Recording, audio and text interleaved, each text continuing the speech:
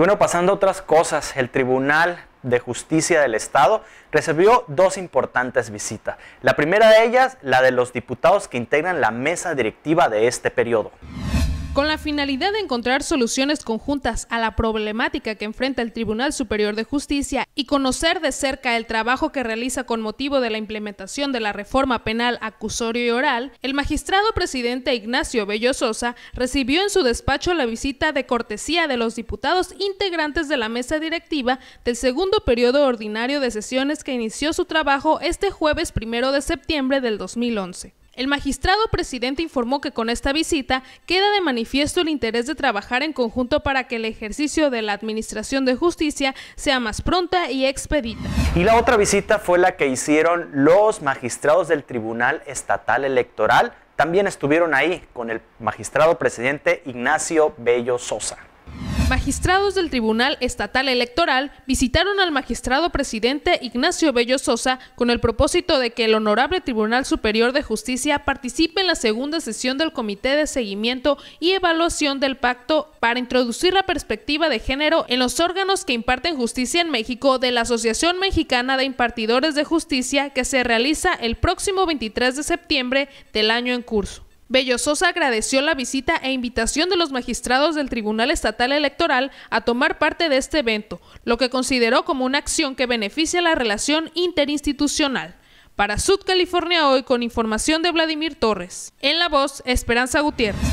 De un tiempo acá hemos venido dando cuenta a usted del trabajo que viene realizando la Organización Nacional por y para México, Asociación Civil. Hace unos meses les compartimos a ustedes una asamblea que realizaron donde se propusieron una meta, tener el 1% del padrón electoral de afiliados. Y bueno, hace poco tiempo celebraron esa meta, pero le preguntamos a Guadalupe Munguía, la líder estatal, qué seguía después de afiliar al 1% del padrón electoral. Efectivamente, a casi un mes y medio del evento que tuvimos de entrega del 1% de afiliación, donde cada uno de los municipios que conforman Baja California Sur cumplió, eh, y que finalmente fue para nosotros un motivo de celebración que se están cumpliendo los, las metas y los objetivos. A un mes y medio de ese evento, puedo decirte que seguimos avanzando, seguimos trabajando en los programas que tenemos como proyecto nacional. Uno de ellos es la afiliación, el segundo es el, el programa nacional de valores.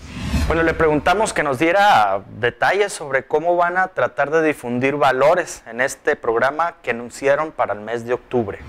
Se va a trabajar con niños de primer año de primaria eh, sobre los valores, son 24 valores que se van a ver en lo que dura el ciclo escolar, que cada 15 días se va a ver un, valor diferente, donde viene explicado en un cuadernillo que es para colorear y que se va, a ser regalado a los niños gratuitamente, que de hecho ya estamos también eh, organizándonos para poder conseguir que la donación o recabar recursos para la realización de este cuadernillo.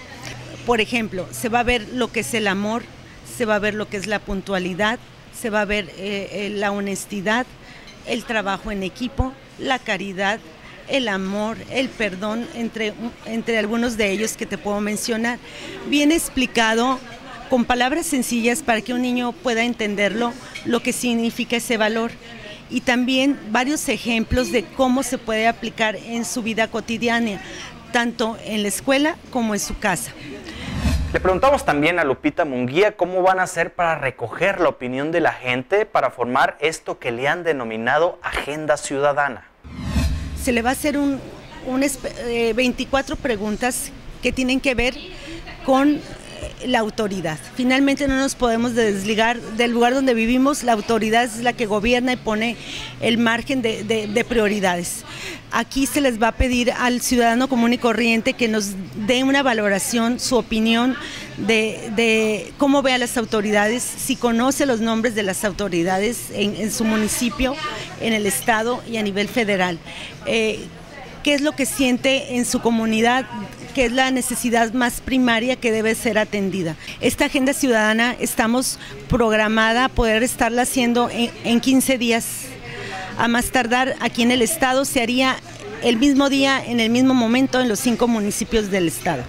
Y es ella misma, Lupita Munguía, quien es la secretaria nacional de la mujer del Proyecto Nacional por y para México.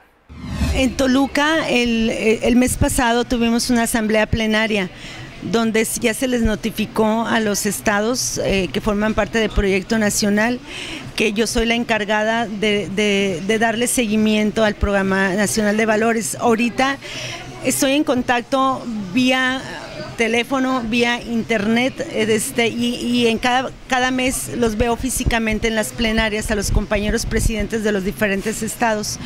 Y bueno, como toda organización civil, aparte de los objetivos que se han propuesto y que se han plasmado en sus actas de constitución, también las organizaciones de la sociedad son observadores. Y bueno, en este caso le preguntamos a Lupita Munguía cómo ellos, como organización civil, estaban viendo la violencia que ocurre en México. Nosotros creemos que la violencia no se combate con más violencia que ese es un error desde el punto de vista de la evolución de, las conciencias. Combatir con la prevención, con inculcar los valores. El caos social que vivimos es precisamente porque en alguna familia se dejó de vivir o de predicar los valores. Creemos que es la única manera de poder combatir la violencia, precisamente inculcando a las nuevas generaciones con los valores universales. Y bueno, hablando de observadores, por último nos comenta Lupita Munguía que ellos van a construir un gran ejército de observadores electorales para el próximo proceso federal electoral. Tú mencionabas hace ratito de los observadores. Efectivamente, Proyecto Nacional también tiene un proyecto de observadores electorales que va a estar muy en, boga, o sea, que el próximo año hay cambio de presidencia de la República creemos que tiene que la ciudadanía intervenir, tomar cartas en el asunto y participar. Es un derecho, una responsabilidad y hay que ejercerla. Precisamente para prevenir actos de corrupción, de ilegalidad, la ciudadanía tiene que estar presente. Entonces parte también de nuestros trabajos es involucrar a ciudadanos, organizarnos para participar en las elecciones como observadores electorales. Y bueno, hablando de mujeres, uno de los acontecimientos que ha causado más polémica en el Estado ha sido la designación de Rosadelia Cota Montaño como presidenta estatal del Partido de la Revolución Democrática, sobre todo porque llegó con el apoyo del grupo denominado Los Cabos. Y bueno, dentro de las corrientes del PRD han suscitado diferentes críticas. Quienes buscaron el apoyo del grupo Los Cabos y no lo obtuvieron, ahora lo califican esta alianza entre Rosadelia Cota Montaño y el grupo Los Cabos la califican como una alianza perversa. En principio, bueno, traían un candidato, vieron que no había la apertura de los demás consejeros para que ellos pudieran participar con un candidato propio. Bueno, en sus análisis eh, surgió el respaldo hacia nuestra propuesta, que tampoco yo había decidido buscar la candidatura hasta um, la semana pasada, el martes, que fue el registro, ese día decidimos nosotros participar. Todavía no teníamos el respaldo de ellos, sí comenzamos nosotros a hablarle a los consejeros y bueno, finalmente el sábado creo que en una reunión que tuvieron de este grupo, alrededor de 17, 19 consejeros, eh, tomaron esa determinación de brindarnos el apoyo a nosotros, lo cual eh, esto ratifica el compromiso que tiene con el PRD. Ellos en ningún momento eh, dijeron que se iban, al contrario, creo que hablaron con el presidente nacional con Zambrano y, ratificaron su pertenencia y su permanencia dentro del partido. Entonces, eh, los señalamientos no deben de ser para este grupo, es el único, bueno, uno de los municipios donde somos gobierno y, bueno, al PRD le corresponde poder establecer esa comunicación con este municipio perredista y bueno, igual con el de Mulegé, que podamos tener eh, de alguna manera una comunicación con ellos. Y bueno, le preguntamos a Rosadelia Cota Montaño cómo observaba este desgaste que ha sufrido el PRD. Por supuesto, partiendo del hecho de que hace poco tiempo era gobierno y hoy pues escasamente gobierna un par de municipios del estado y bueno, tiene algunos diputados. Le preguntamos a Rosadelia cómo observaba este posicionamiento que tiene el Partido de la Revolución Democrática actualmente. Yo considero que fue por un desgaste normal que tienen todos los partidos políticos cuando son gobierno. Cuando viene la crisis económica, vienen las situaciones del desempleo, de la falta de, de, recursos de los ayuntamientos para poder solventar todo lo que le corresponde hacer. Cuando se vienen todas esta serie de conflictos, bueno, ¿quién es el culpable? Pues el gobierno. Y desafortunadamente en esos momentos el PRD era gobierno después de que ya hubo los cambios de gobierno y que de la misma manera como no se resolvían los problemas por el gobierno cuando estábamos los gobiernos periodistas, no se resuelven ahorita, bueno, la gente ya se está dando cuenta que es una problemática social que engloba a, ahora sí a todo el país y a todo y a todo el mundo. Entonces yo tengo confianza en el que a nuestra llegada la a la presidencia del PRD podamos aglutinar todas aquellas gentes que por decepción, por desilusión, por problemas económicos, por falta de atención del partido, este, nosotros podamos tener esa comunicación y podamos volver a ser fuertes en el PRD y podamos volver a estar en posibilidades de ganar elecciones. El PRD ahorita desafortunadamente ya no es gobierno y tiene que volver a iniciar esa comunicación con todos los sectores de la población y bueno, lograr otra vez que vuelvan a creer que la voluntad y la intención ha sido buena de trabajar y hacer buenos gobiernos nada más que la situación económica que prevalece, bueno, los llevó a no poder satisfacer, satisfacer todas las necesidades de la población. Y bueno, para muchos las elecciones es una forma de tomar en cuenta la opinión de la gente. En el caso de los partidos políticos, pues una opinión de sus afiliados. Le preguntamos a Rosadelia Cota Montaño si el PRD había quedado dividido después de su designación desde el día que tomé la protesta, después de que se hizo el conteo, me tomaron la protesta, yo los llamé a, sumarse, a crear este un partido fuerte. Creo que sí logramos el hecho de que no hubiese señalamientos, no hubiese inconformidades y bueno, yo tengo confianza en que todos los que participaron con los otros tres compañeros, bueno, puedan sumarse al trabajo del partido. Y esa es la invitación que les hacemos. Algo importante para todos los partidos políticos es su relación con los representantes populares. ¿Por qué? Porque ellos son los encargados de llevar a cabo el programa de acción que promueve el partido político. En este caso le preguntamos a Rosadelia Cota si ya se reunió con sus representantes populares.